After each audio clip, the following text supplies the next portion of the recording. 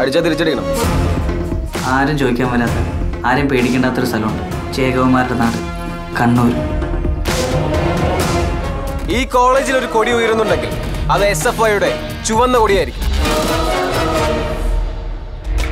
ഒരു മെക്സിക്കൻ അപാരത.